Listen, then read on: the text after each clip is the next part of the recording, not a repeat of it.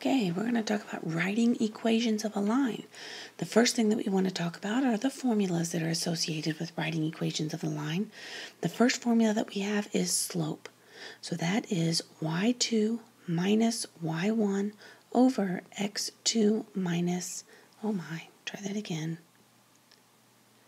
x2 minus x1. So y's over the x's. Now, same thing applies here as what we had talked about previously with our distance formula. Anytime you have a point, it does not matter which point comes first as long as you line them up. Whichever point you decide to use first, and I know this formula is y2 minus y1, but I read left to right. So whenever I read my points, I always start with my left point first and then go to my right point. And so we're going to find some slopes, but the thing I want to make sure you know is slope formula is the y's over the x's, which also makes rise over run, so you know it's y over x. The next form that we're going to look at is slope-intercept form. We've already used this to graph, and keep in mind, mathematicians aren't creative, so whatever it's called, that's what you get. So we already know the M stands for the slope, and the B in this instance stands for your y-intercept. Why, that looks terrible. Let me try that again. So your B is your y-intercept. And so if you're ever given a y-intercept, bam, it goes right in place of the B. Given a slope, that's where it goes. The next form we're going to talk about is point slope form. And again, it's exactly what you think. The M is still your slope. But the difference here is I have this y1 and this x1, which is what makes up my point. So I have a slope and a point that we're looking at. The plain x here and the plain y without any subscripts on it, those are just part of my formula. Just like this y and this x are part of my formula, you don't sub anything in for those. So those are standard and then they work with it. Your point slope form is really just a workhorse. You don't leave your final answer in point slope form. You just use it to get to your answer. You're going to use point slope form to end up in slope intercept or in this next equation. Last but certainly not least is standard form. And standard form is also an end game. So you end up in standard form. The same concept applies with standard form as the other two. This x and this y are just part of your formula. The a, the b, and the c, however, are numbers, and they are not just numbers. There's a couple criteria whenever you end this up in standard form. The first criteria is that a is positive. So the coefficient of your x value always needs to be positive. Secondly, there are no fractions. So it's obvious in my formula that the x and the y are on one side, but the two things that you need to, to make sure in your final answer is that a is positive and that you have no fractions in your problem. Now keep in mind, typically slope comes in fractions, so you're going to have to eliminate those fractions for those problems. Okay, we're going to write the equation of the line through these two points. Now, these, the way that points are described in this aspect has a tendency to throw people off. Keep in mind the x-intercept is actually the point negative 6, 0. And the y-intercept is actually the point 0, 7.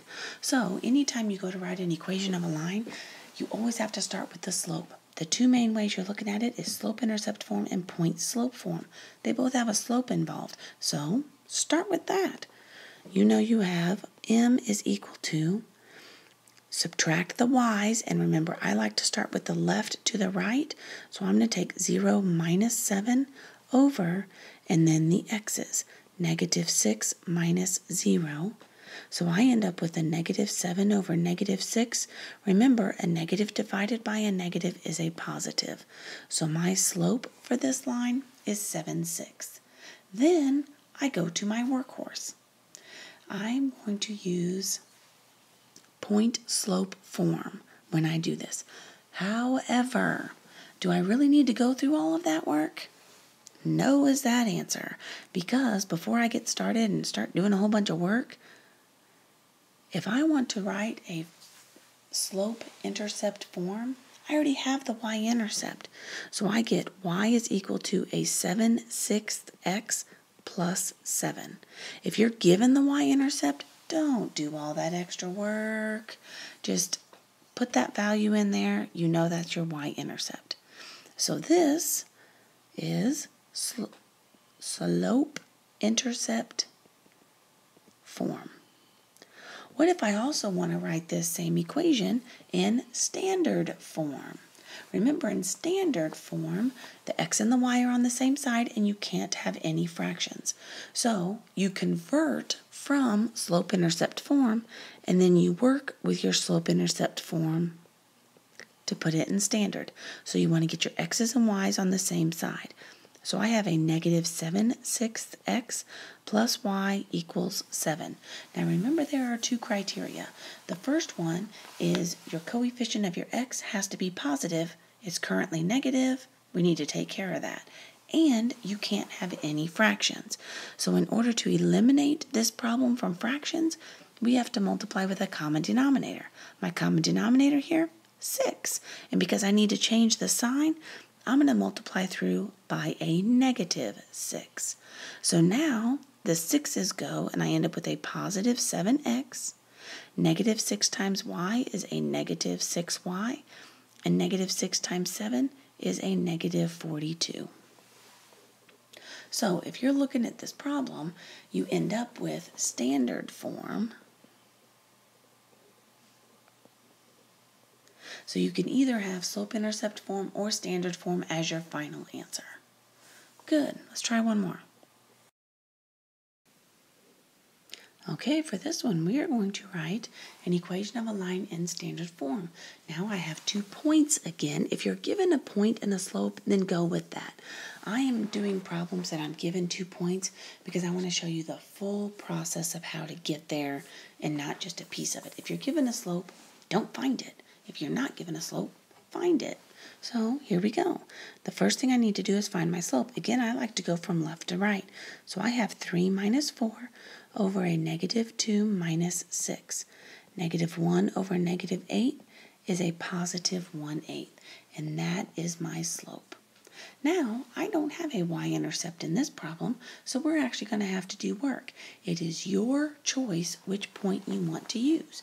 You can use the first one or the second one.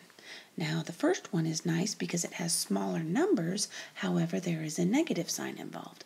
The second one is nice because it doesn't have any negative numbers at all.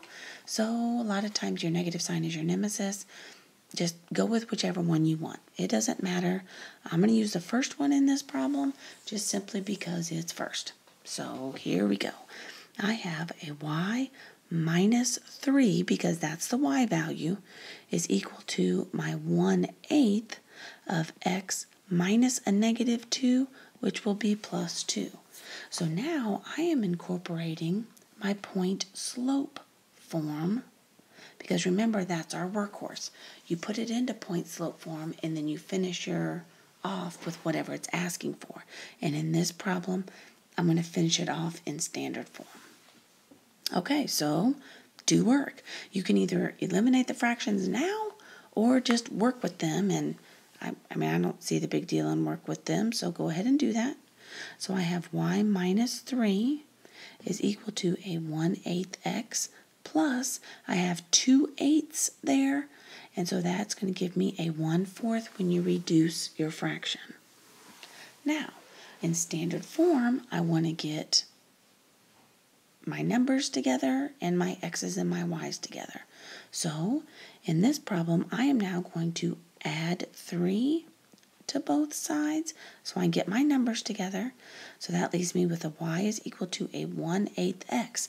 Now, in order to add the 3 over 1 with my 4, I need a common denominator of 4. So if I multiply the bottom by 4, I also have to multiply the top by 4, giving me a 12 fourths. So this is going to give me actually a positive 13 fourths whenever you go through and my 4 was looking wonky. When you go through and you add your numerator.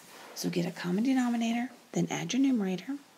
Okay, now this is standard form that we want, so I'm going to go ahead and subtract my 1 8 x from both sides.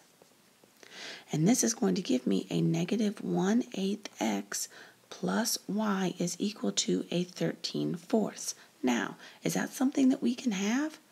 No, we have two things wrong with this. First of all, the negative is a problem in front of my x coefficient and the fact that we have a couple of fractions here, that's not going to stir the Kool-Aid either there, Ace. So we need to find a common denominator.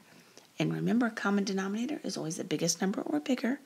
I need to have a negative to get rid of that negative sign and an 8.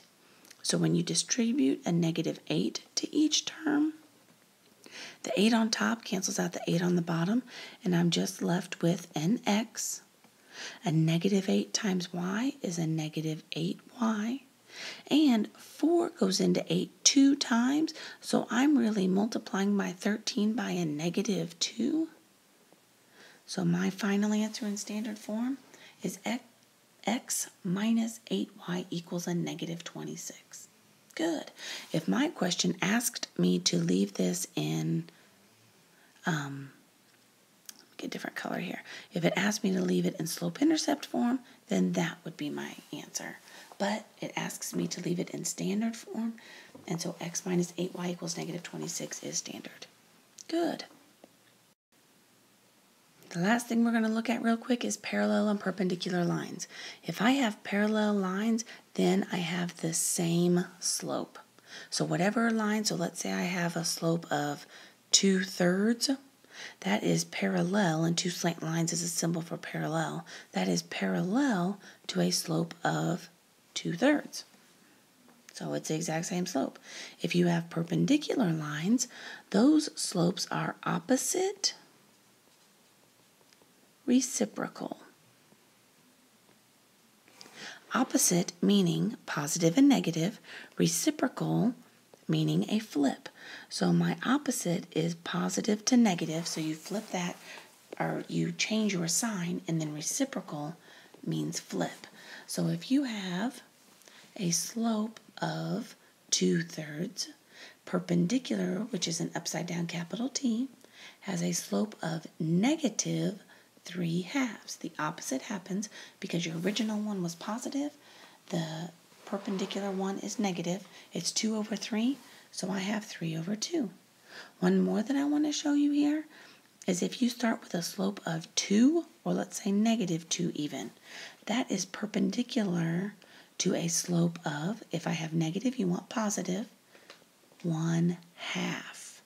That's right, because this 2 is the same thing over 1, so when you flip that, you get 1 half.